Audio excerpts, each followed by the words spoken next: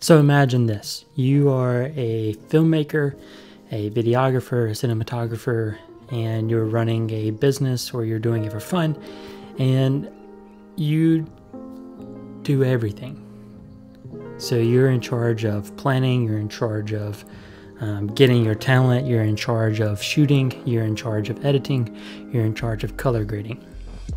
And let's say that you go through the entire process perfectly, you plan on everything, the shoot works works great, the edit comes out just fine the way that you planned it, and then it's time for color grading, right? And you are colorblind. Um, and so you have to now go and color grade a footage, make sure skin tones are perfect, make sure everything else looks good, but you don't really know for sure because you're colorblind. How do you achieve good color grading if you're colorblind? Well, I'll tell you that story because that's me. I, I am the one who is colorblind and I do everything myself. And typically, my workflow is actually sending my finished product to my wife, who um, not colorblind, and hearing um, her tear my stuff apart um, and the color grading and telling me how to fix it and stuff like that. However, when it comes to skin tones, there's a nice kept secret within the editing software that can help you out tremendously and make sure that your skin tones are perfect every single time that that you color grade. Um, and so let's jump into DaVinci real quick. And this works for all editing softwares, um, but we'll look into DaVinci first and we'll see um, how this works and exactly how it's done. So let's let's hop in. Sweet, so the first thing that we're gonna do is you wanna go into your color tab. Um, and whenever you go to your color tab, you'll have your scopes down here uh, or wherever you wanna place them. In other softwares, if they don't appear, you can go to um, like Windows settings or something like that um, at the top toolbar and then you'll you'll be able to see like Lumetri scopes or I'm not sure what it's what it is in um, Final Cut. So I'm not I'm not exactly sure what it is in Final Cut. But anyway, here and you want to find your scopes. And the first the next thing that you want to do is you want to find your hero frame. Um, so scroll through your footage and find something that, that looks good. So I'm going to stop right here. And this is going to be my hero frame. And so the next thing that I'm going to do is I'm going to go down here and I'm going to go to vector scope. Now the way that vector scopes work is um, so it's just like a color wheel. So you have red here, magenta, blue, cyan, green, and yellow that goes all the way around. And the farther that line is, this little thing, is away from the center, the more saturation within the image that you have. Um, so if it's pulled towards the green, it'll be more green, and the farther that you go to that green, you see it moves farther away because it's more saturated. And so um, that's how you read the, the uh, vector scope. And um, the next thing that you want to do is make sure that you have the skin tone line enabled.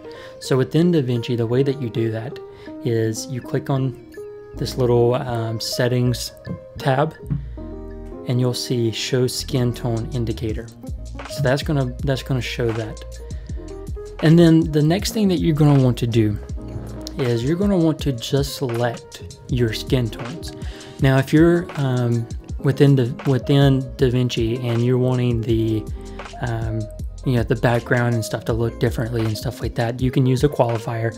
Um, but however, we're just gonna let everything just looks you know naturally how it how it would in camera. So I'm gonna go to Window and I'm gonna take my little selector tool and I'm gonna select just the skin tone. I'm just gonna draw something around that. And so now just the skin tone is selected and we if we look back down here, we see that this this little uh, line is coming off and that's that's what the skin tone is right now. And because we have this skin tone line enabled, what our job is or what our goal is, is to get our image to land right on that skin tone line. Um, if you're a little off, it's fine, but you want to get as close as possible to that. And the way of doing that is you can use tint and temperature. You can use your color wheels, however you want to do it. Um, they both will give you all, you know, great results. And so all I'm going to do is I'm going to take this tint because I see that I'm green. I'm more in the green side. I'm going to take that tint, I'm going to pull it more towards magenta. And so as I start going, you now see that it's perfectly on that line. Actually, let me let me back up. Let me add a new node so that way we can just see what the what the node is doing. So I'm going to add a new node I'm going to do the same as that thing. I'm to select the skin tones right here. And so now that we have that, I am going to take my tint. I'm just going to pull it more towards magenta. And that's going to land perfectly on, on that. And if I delete this, delete this thing, if you look right here, the skin tones now are perfect.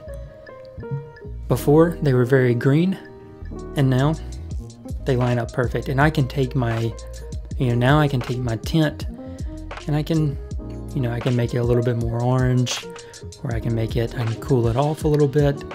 Um, whatever you're, you know, whatever you decide and whatever route that you want to take, um, you can do that. And so that's as simple as it is, it's just using that, that selector tool, isolate your skin tones and then make sure that they that they line up on that skin tone line and your skin tones are going to be perfect every single time. So let's look at this other clip. Um, so I'm going to do the same as that thing. I'm going to get a new node. I'm going to select my hero frame. So I'm going to say this is good right here. I'm going to zoom in. Not that much. I'm going to zoom in and I'm going to take my selector tool again. I'm going to select my skin tones. So now that I have my skin tone selected, you can see again where we're more green than, than where we should be. So I'm going to take my tint tool. I'm going to go more towards the magenta. And for this, I'm, I'm looking really, really orange as well. Um, so once again, now that I'm on that skin tone line, that orange, you can see that my line is very far away from the center. And so I'm just to dial that back just a hair. So I'm gonna dial it back a little bit and I'm gonna make sure that from side to side that we're perfectly on that on that skin tone line. And now I can delete this this window. I can zoom back out and look. Before and after. Before and after. Um, and so you can you know you can mess around with with it however you want. Um, but in order to get those those skin tones perfectly, you just want to make sure that it's on that line. Um, and this is a a secret for um, everyone to be able to use. And um, if you know if you're like me and you're colorblind and color grading is intimidating um, because you don't know what actually looks good and what doesn't, use that skin tone indicator and make sure that those skin tones are perfect. As long as your skin tones are perfect, um, it doesn't really matter what the rest of the image looks like um, for the most part. Uh, but if your skin tones are great, then everything else is going to look pretty good as well. Um, so that's a good indication of, of where your grade is going. Um, and so that's that's going to wrap this up. Um, appreciate it, guys. Once again, if you haven't already, hit the like and subscribe button below. If you have any questions, leave me a comment and I'll get back with you um, on that. and that'll be it. So we'll see you in the next one.